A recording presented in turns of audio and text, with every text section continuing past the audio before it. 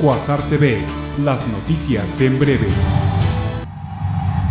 El secretario de Energía, Pedro Joaquín Cotwell, realiza gira de trabajo en Michoacán. En Agostitlán, municipio de Hidalgo, presentó el proyecto de ahorro de energía eléctrica mediante la sustitución de focos tradicionales por ahorradores y en Los Azufres inauguró los trabajos del Centro Mexicano de Innovación en Energía Geotérmica. Alfredo Castillo Cervantes, comisionado para la seguridad y el desarrollo integral de Michoacán, aseguró no se permitirá la entrada de las autodefensas a Morelia, pero confirmó la entrada de estos grupos a Santa Clara, Opopeo y Sirahuén, en donde estuvieron acompañados por fuerzas federales.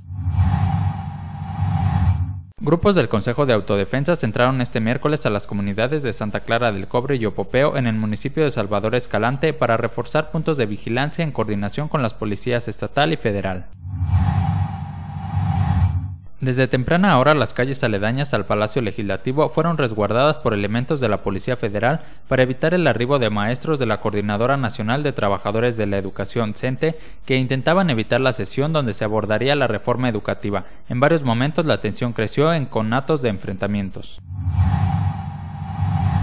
Finalmente se han frenado las extorsiones a los constructores michoacanos que tenían que pagar el 10% de cada obra ejecutada al crimen organizado, incluso cuando el gobierno estatal no les estaba pagando los trabajos, afirmó Francisco Gallo Palmer, presidente de la Cámara Mexicana de la Industria de la Construcción en Michoacán.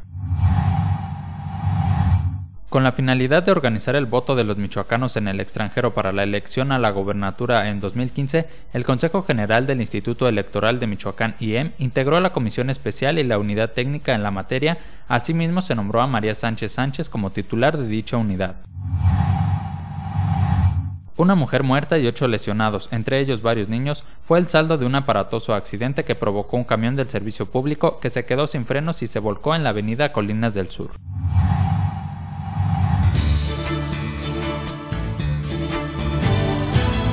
Quasar TV, las noticias en breve.